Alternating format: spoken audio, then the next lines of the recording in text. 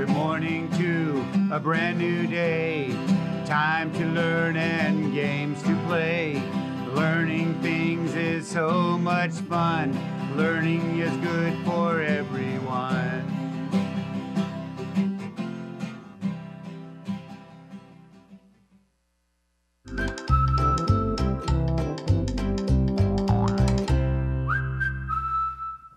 Hello, early learners. Welcome back to the art room.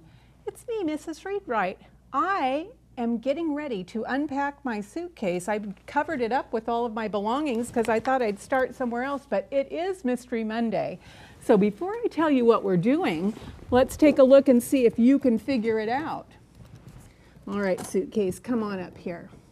I have three items in here and they all go together. And I wonder if you will be able to figure out why I brought these three items. Open the suitcase and let's see what's in here. I have this first jar. There's something in there, but you can't see it. Here's my second jar. What could that be? And my third jar I'm going to tell you the three items. There is soil or dirt, there is air, and there is water. These three things are around us every day. They are all, all part of our planet Earth. Is that what you were thinking? We have the air we breathe, the water that we drink and use for all kinds of activities and for recreation, and the soil we walk on. Because even beneath your floor in your house, there is soil beneath there. So these three things are things we need to help take care of. So it will always be fresh and clean for the people who live here. So Earth Day was established in 1970 people were realizing that our earth was being trashed and people weren't taking as good care of it as they should. People would throw things out of their cars and think somebody will pick that up, or they poured oil down the drain, which goes out to where the fish live, or they just put burning, smoking things in their backyards and burn up things and the smoke goes into the air. All these things are things that damage our planet. So we can do things to help our planet stay clean. And our planet is Earth, and you can help. You can recycle things. You can make sure that you don't put things down the drain that don't belong there. We'll talk about a lot of things that we can do to help the Earth. I also have inside the suitcase a book that I think many of you have heard in your classroom. And if you haven't, we have hundreds of copies of this book in our libraries at Fresno Unified. And I'm sure those of you who go to other schools like in Clovis and Sanger and Selma and Kingsburg, you can find this book at your county library or at your school library. And it kind of goes along with the song that Greg and Steve sing about Oh, we all live together. Yes, we all live together. And they start out with the girl who's on the map. And it goes from her to her bedroom. So it says, I live in a house in a neighborhood. The neighborhood is a part of a city. And it goes on and on until she finally gets to outer space. Well, I thought, what would it be a really fun art project that's going to last all week long that we could do together that shows the planet Earth? I'm going to use a gigantic piece of white paper and draw a big circle in it. And we'll start out with the circle and put in all the parts we just talked about, about the land, the water, and the air, and outer space. I think you're going to have fun making it. But I want you to know that when you work on your project, you have to put it somewhere safe at night so that other people don't accidentally spill something on it or they think it's just a scrap piece of paper when it's really your precious artwork. So every night I'm going to hang mine up. I might even hang it in my closet with a clothespin so nobody thinks it's something they can use. But we're going to get started. Let's start with a new hello song. And the new hello song goes like this. It's the more we get together, together. So I'm going to do, it's to a waltz beat. And a waltz beat is one, two, three, one, two, three. The more we get together, together, together. The more we get together, the happier we'll be. Cause your friends are my friends and my friends are your friends. The more we get together, the happier we'll be. And that is our song. And I even put the chords on it because one day this week, I might play my instrument and play this song. Let me set this down and let's talk about the art that we're going to look at today. On this chart is the art a child made. And this is the one we are going to make. I'm going to start out with a piece of white paper, draw the circle, make the mountains first, then make the hills and valleys, then put the forest, then add the river, then add the ocean, then add the outer space. Those are the steps.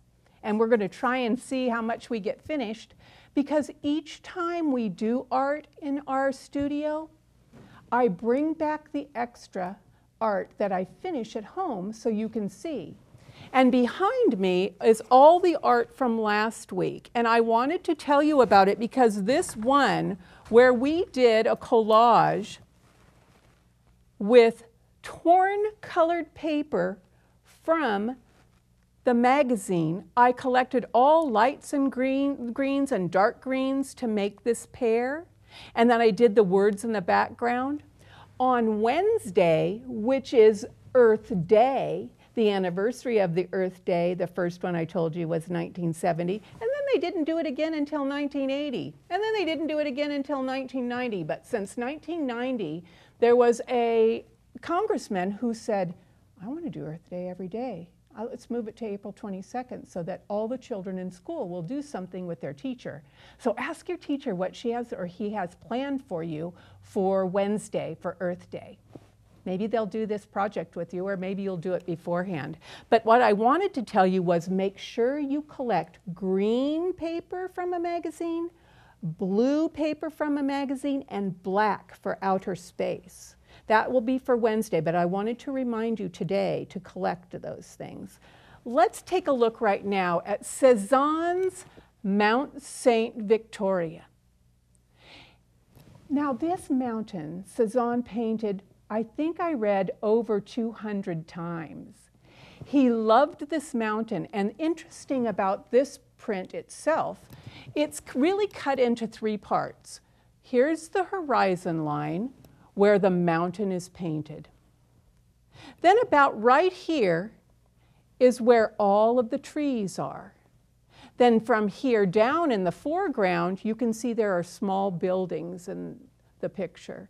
And all of his work was being painted this way and that way, his brushstrokes, impressionistic. Remember we talked about that? It was what he saw and painted. Now, the thing about Cezanne, do you remember? He never signed his work. He never thought it was finished. Why sign a piece that's not finished? So he never signed his work. And this one, as a matter of fact, you can see pieces of the canvas behind coming through because he didn't paint on every piece of the paper. So he was painting all of this and not finishing it. Oh, there's a little piece there that he didn't paint. But what we're going to do is just look at the mountain and how he put different shades of grays and lavenders up here because when we go to do ours, you can see the person who did this artwork did it in a stylized fashion. Stylized means kind of cartoonish. It doesn't really look like a real one, where this one from Cezanne looks like a real mountain. So let's get started. You may want to get your piece of white paper and use a dinner plate to do your circle. I am using a tool called a compass. Uh, it goes on here and it's going to go make a circle on my paper. And I have the tiny one I have here to put up here to show you as we go on. So let me set down my pointer stick. I'm not worried about having to stop in the middle of the lesson this time because we're going to do this all week long, so we don't need to worry. This way I can turn my table down a little bit. I tried to put a little dot in the middle of my paper because when you use this, you keep this on there and you move the pencil that's attached to the other end around in a circle. Let's see if I can do it without making a mistake by moving my little thing off of the, it's kind of hard because this is the biggest compass I've ever used. Press a little bit, Miss Readwright. I'm going to move my paper a little bit this way, put it back on here. It's going to make a pretty good circle, boys and girls. I think it will make its way around and meet up because a circle is a curve that never ends. Yeah, that's pretty good. It doesn't have to be perfect closing it up, setting it aside. I'm going to be using permanent pens all week long too, so if you have one, good for you. If you don't, you'll use a black crayon or you'll use a black pastel. But what I'm going to do is now trace this line. I'll bring this up so that we can keep looking and you can see what we're doing. I'm going to have to use just my hand to make it kind of stay steady. So it might bump down because it runs into the edge of my little table. But I'm going around and I'm making my circle as great and straight as I can. I'm not worried though if it's a little wiggly because I think with the earth out in space, it's not a perfect, perfect sphere. There we go.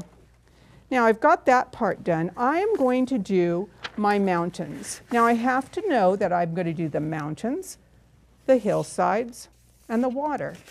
So I'm going to do this hillside and another hillside so that I can start my mountains.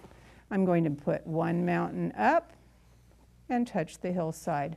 Another mountain a different size and touch the hill and another one. You can put as many mountains as you'd like. And what I want to do is add the snow to it. So I'm going to turn this so you can see it. I will draw the place where the snow is kind of on the top of the mountain. And I'm going to use my white pastels because tomorrow when I paint this, I want the white snow to stay there. So let me grab my white pastels and just color in that part. Now tomorrow, we're going to do a forest landscape. And so you'll bring this project back. Your oil pastels, if you have them, or if you're bringing crayons, bring your crayons because we're just going to draw forest in this part. All right, so make sure that if you want to do this project with me, bring this project back and we'll have a great time with it. Boys and girls, it's almost time to say goodbye, so I'm going to do a little, oh, it's time to say goodbye to all my friends. Oh, it's time to say goodbye to all my friends. Oh, it's time to say goodbye to all my friends. Boys and girls, I'll see you tomorrow to meet Emily Carr and her forest landscape. Bye-bye.